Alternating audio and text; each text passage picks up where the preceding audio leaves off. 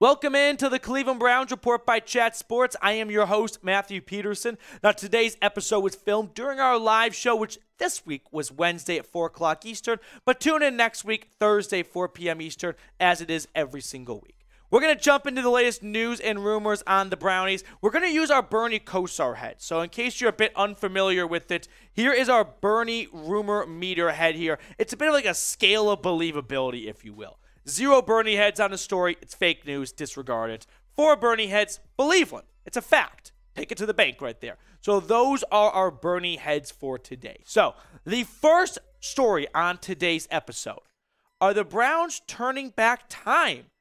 Four Bernie heads, baby. We're going back in time because you might have seen it on Twitter already or somewhere on the internet, the World Wide Web. The Browns are going to roll out some throwback helmets. All right, here it is. They tweet out themselves a picture of Grant Delpit sporting the white face mask. Now, I know this might not be you know, the, the big uniform change you may have thought was coming. It's just a face mask change, but there's a bit of history behind this. The Browns wore white face masks, if in case you don't know, for a long time, right? During the Bernie Kosar days and whatnot. In fact, did some deep, deep, deep digging on the story here for you all here. The Browns have not worn white face masks since 2005.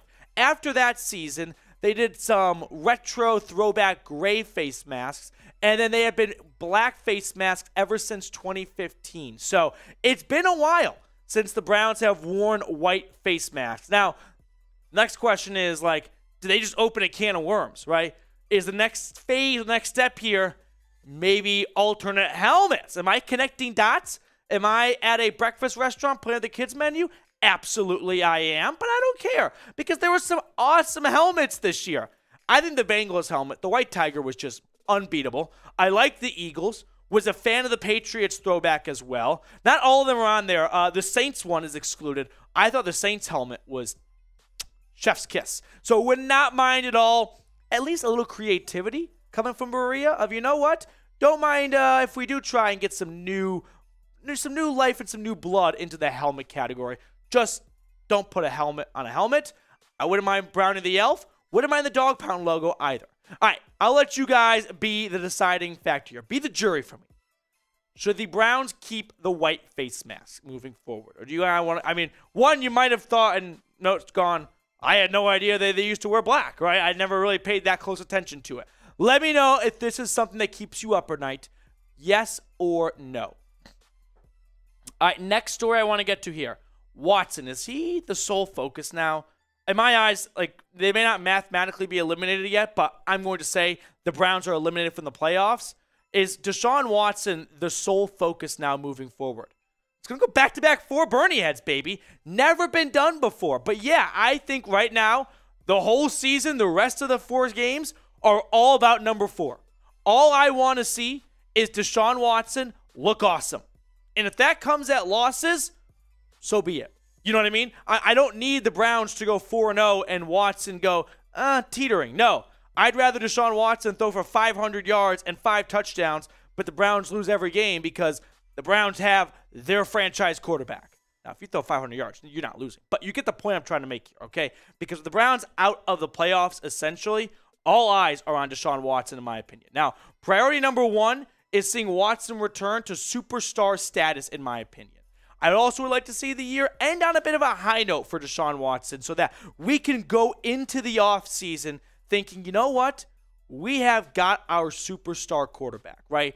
We have checked that box. Everything is taken care of. We've got our man with Deshaun Watson. Now, we'll get to more on this story in just a moment, but today's Browns report is brought to you by Fetch, the free app that allows you to scan your receipts and earn points that can be redeemed for gift cards to your favorite stores, restaurants, and online retailers. It's super easy to use. Use the app to snap a photo of your receipts from purchases from any store or click the e receipt option and Fetch can connect to your Amazon account and you'll earn points for all shipped orders. Plus, connect your email to earn points for every e receipt and you'll receive you receive from Uber, Instacart, or any other purchase you make online. Those points can be redeemed for gift cards at your favorite stores and restaurants. Fetch is available on iPhone and Android. Use our link chatsports.com slash fetch and enter promo code chat at signup for 5,000 points when you scan your first receipt. That's the equivalent of a free $5 gift card. It's a free app, and the 5,000 bonus points, well, they're only for a limited time. So get started now. Chatsports.com slash fetch. Enter promo code chat. The link is also in the comments and the description of today's show. All right, looking ahead here, the remaining schedule for Cleveland, as you talk about what the tension is moving forward, you got the Ravens, you got the Saints, then you close out the season going to Washington and going to Pittsburgh.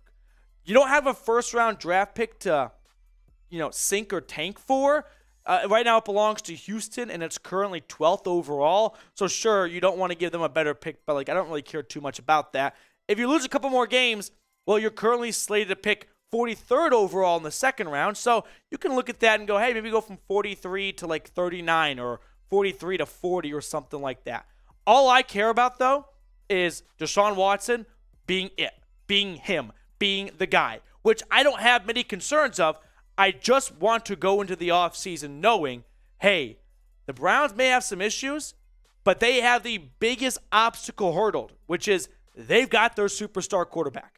The improvement we saw from week 13 to week 14 went to show, yep, that was just 700 days of rust in week 13.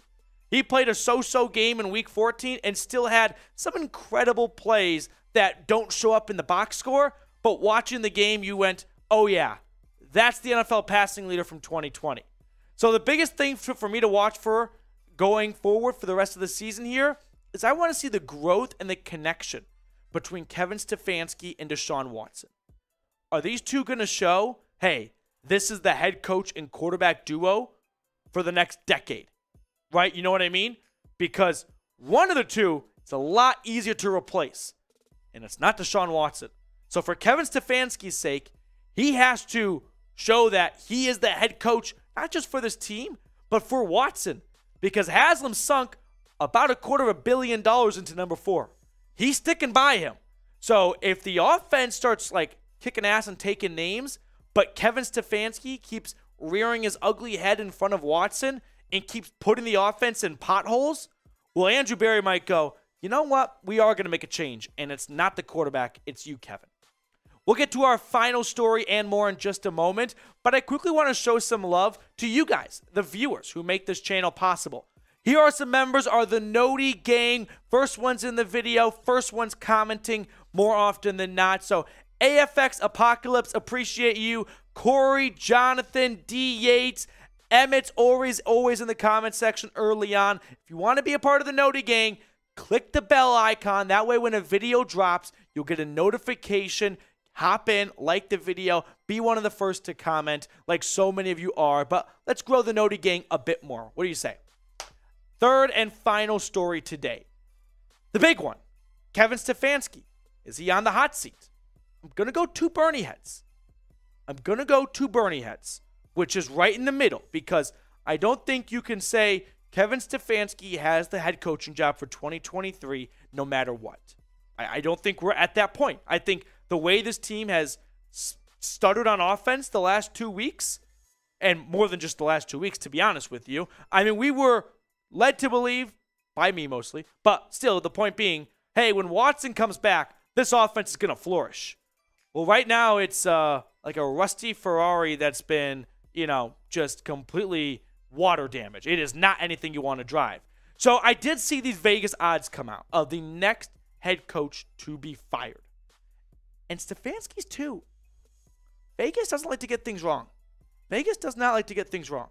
What does Vegas know to have Stefanski at two ahead of Cliff Kingsbury? Someone that I definitely think is on the way out after this year. This might be one of those, uh, what does Vegas know that we don't know? Maybe there is something going on. Maybe there's something in, brewing in Berea of, you know what? if Stefanski does not show that he is going to be a good coach for Watson the next four games, oh, they'll cut bait and they'll move on. I thought Stefanski was safe no matter what this year because he was a huge factor in getting Deshaun Watson to Cleveland. And I still do believe that. I still think that. But these next four games are huge. I'm not as confident as I once was. If I was at a 10 before, I'm at a 7.7, right? I've definitely reeled back a little bit to the point where I don't think Stefanski can show up 30 minutes late with Cheetos dust on his fingers and go, I've got the job next year. Who cares about the next month? Because the Brown schedule, like we mentioned earlier, Ravens, Saints, Commanders, Steelers, like, there's not some easy, you know, horrible teams. You already played the Texans and you didn't score a touchdown offense against them. You got the Ravens, who are never an easy out. We know this. The Saints, well, they're not good, but not the worst in football. The Commanders are looking like a playoff team. And the Steelers are the Steelers. And if that Week 18 game is the difference maker for Mike Tomlin going above or below 500, you better believe Pittsburgh's going to wrap up, you know, first off, they're going to put Ben Roethlisberger in Kenny Pickett's jersey and just cart him out there in a wheelchair and be like, no, it's Pickett. See, no, no way Big Ben came back. But what is your confidence level in Stefanski coaching next year? I set him at a 7.7. Where are you? Scale for me 1 to 10. Let me know in the comment section below how confident you are that Kevin Stefanski is going to be the Cleveland Browns head coach in 2023. I also want to give a quick shout out to Monica R. Monica, appreciate your super thanks so much here on the channel. A $10 super thanks. Really appreciate that. All those donations, all those contributions help us get more studio time. So if you like the free content and you are feeling like you want to be an MVP, a super thanks, a super chat goes a long way. To wrap up the show, you all know this. It's a weekly staple. It's Petey's Doghouse. After the loss, there's no extra treats. There's no one off the leash. Here's how it looks. On the leash, the offensive line. The offensive line has just been cheeks the last couple of weeks. It really has. And I don't have a very good answer other than when Ethan Pocic went down, it's not like Froholdt has been a huge liability, but things have been different. That is for sure.